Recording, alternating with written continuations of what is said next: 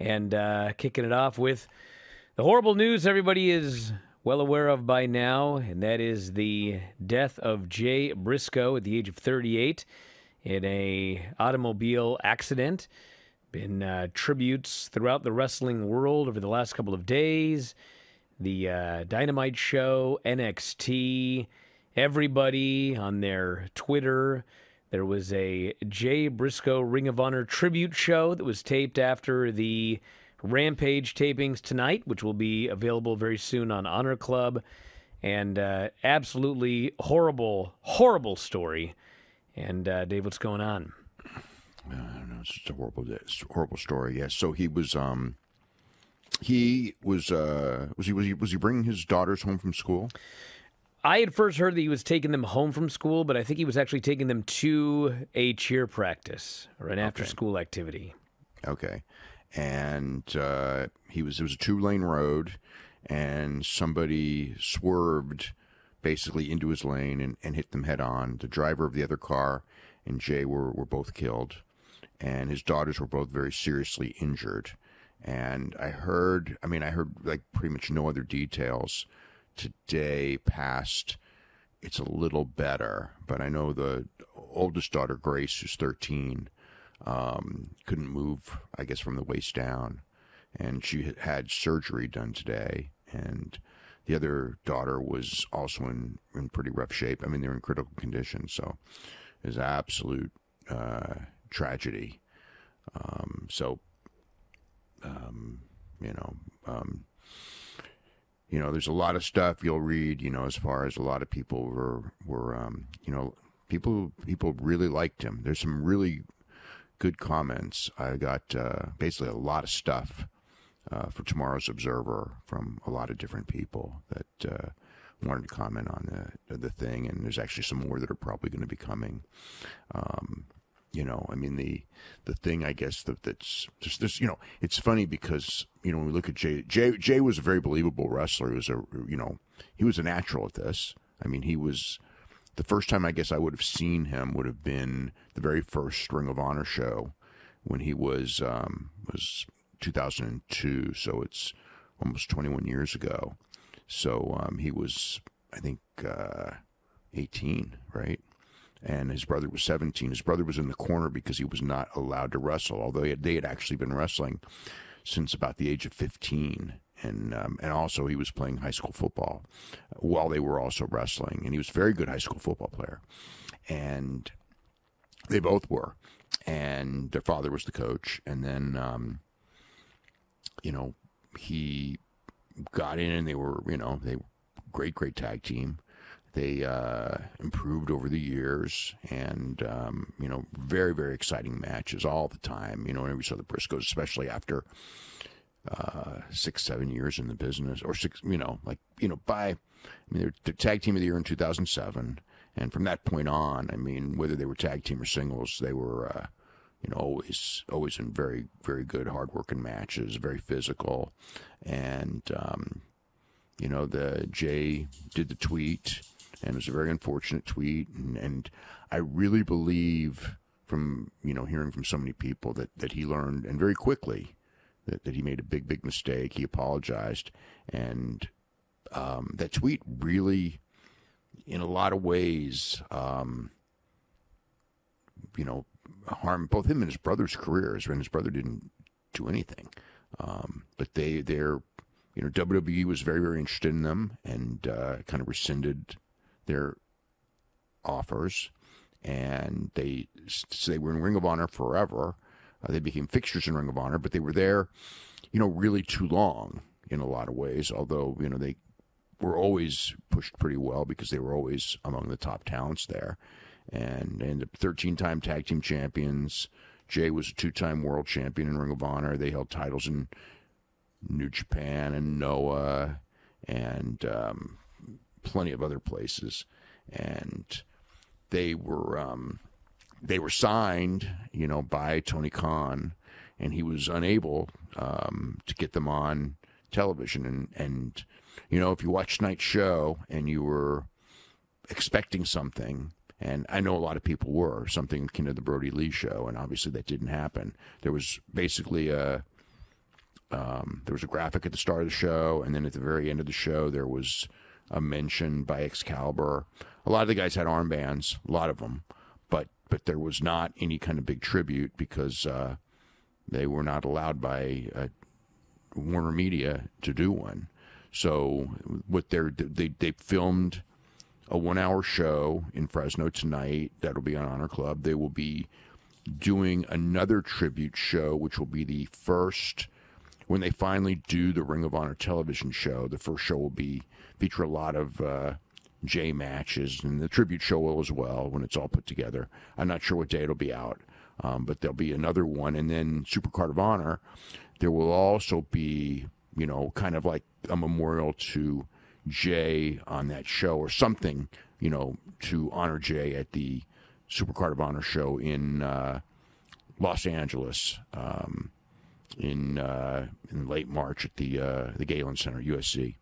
So um, there's that, and um, but like I said, everybody seems to feel he learned, and he, if anything, um, you know, he was, you know, you'll see some of the stuff, but um, Ian Riccaboni had some, you know, really, really interesting stuff that that'll be in the Observer, talking about, you know, Jay and and um, you know, basically how he uh, viewed and was wanted to learn about gays and words and, and, and things like that. That it was not just some, you know, you know, he had to apologize, of course, but it was not some, oh, okay, I'll apologize, but I don't really mean it. Like some people think some, you know, other people when they, you know, get in trouble or something sometimes do, but they felt that he really wanted to learn, and you know he was a really good guy, family guy. Um, you know the um, the girls were were doing cheerleading, and he would you know go and do cheerleading with them and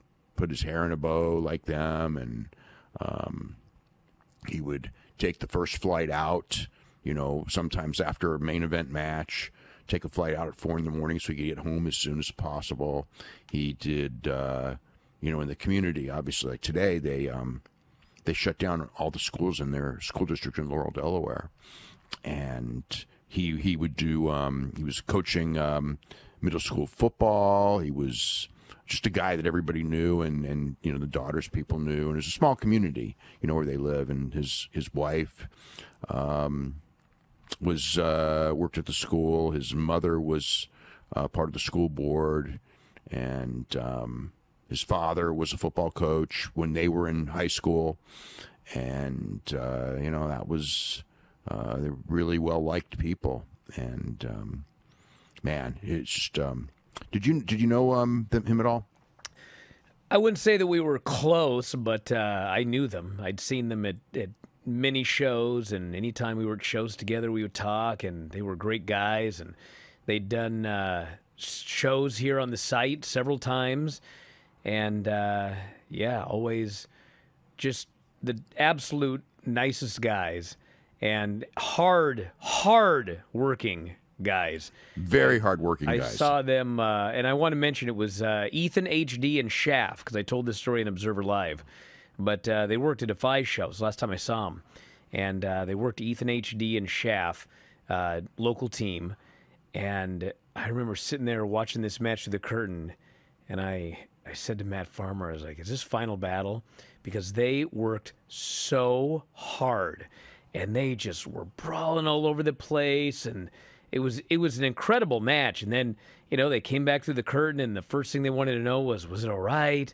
How do we do?" And then you know, Ethan and Shaft came through the curtain and they just hugged him and thanked him and they were so thankful and it was just they were an incredible, absolutely incredible tag team. I mean, whether it was, you know, big shows, not big shows, indie shows. Uh, Jay was a fantastic singles wrestler. He was a fantastic promo.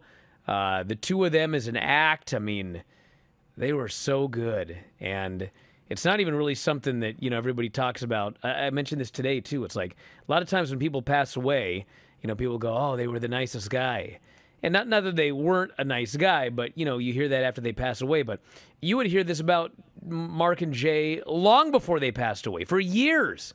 People would bring this up, largely because of how they they could not work for WWE and they could not work for AEW because of, of this tweet. And you know, a- for for you know- you know- years, I just heard they're the sweetest guys. It's so bad what happened to them, and he's so remorseful for what happened, and he's he's done so many things to to try to make this right, and it doesn't matter. They're they're not going to work there, and uh, and people were upset about it for years. It's so unfortunate and so unfair in a lot of ways. I mean, I, the the tweet was terrible. I mean, there's no doubt about it. But There's no know, it- defending the tweet. No, of course not. Of course not. The tweet was terrible, and he wouldn't defend it either. You know, I mean, that's the thing. And um, you know, it's it's weird that like it basically like um, you know cost them. You know, I mean, they had the. It's, it's you never know how somebody will do in WWE. I mean, you don't like when they, if they were going to go to WWE, they could have been big, big stars there. Their style was completely, completely different from what WWE wants, though.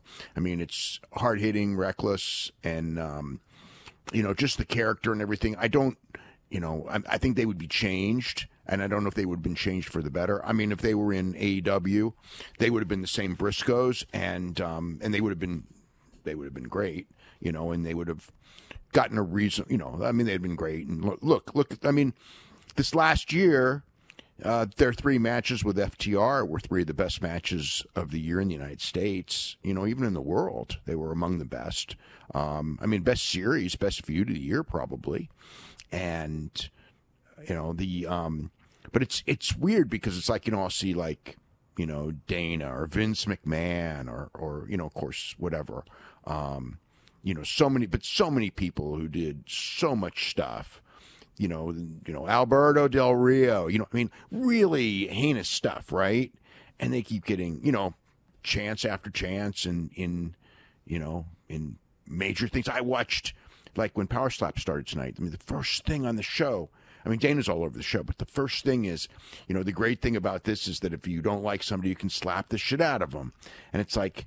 Are we really opening the show with this this week? Is that you know? I mean, it's like when he filmed it, it was it had a totally different t- connotation. But this is the same station. They will not let a tribute show uh, for Jay Briscoe go on, um, who just passed away, that the entire wrestling world is mourning. Um, but they won't edit that line out of you know the show that aired you know that line was like three minutes after the show air you know the, the wrestling show ended was the the line on power slap and dana's all over the show and you're watching you know power slap we'll talk about later but it's just so many things you know and listening to so much bullshit today you know about every different every, all these things and it's like these guys you know these guys never and mark never even did anything wrong but i mean he wanted to stay as a team and you know i mean like AEW did want to push them. I mean, they wanted them. They wanted them to be on the roster. It couldn't happen. They wanted them on the pay per views this year. I mean, they they did headline. You know, you know, they were the big draws on the the um the you know. I mean, you could say Jericho maybe in the last one, but you know, I mean, they were big draws. They were the draw on the the second um, Ring of Honor pay per view that that Tony Khan produced, and that did a really good buy rate. You know, and it was it was the rematch based on the you know excitement and significance of the first match. And um yeah you know it's just it's just weird to me you know thinking about like a tweet when you're really young. I mean it's a tweet. It's a bad tweet but it's a tweet. It's not like they sexually assaulted somebody. It's not like they were accused of you know something heinous that like they really did you know they physically did something heinous. This was a you know one brother does a really dumb tweet and and and, and it was it was actually two tweets but the whole point is is like it it um you know it hindered their career. But you know on the flip side you know from when you look at it it's uh because of that because they didn't go to WWE and because they um you know they they got to be at home and they got to raise their kids, which would, you know, for, up, up until the pandemic, they would not had that kind of schedule. They would not have been able to, you know, he wouldn't have been able to, to do the things that he did. Now, this year, the nature of how the schedule in AEW is, is that they could have because the AEW schedule is not, you know, it's not that, that bad.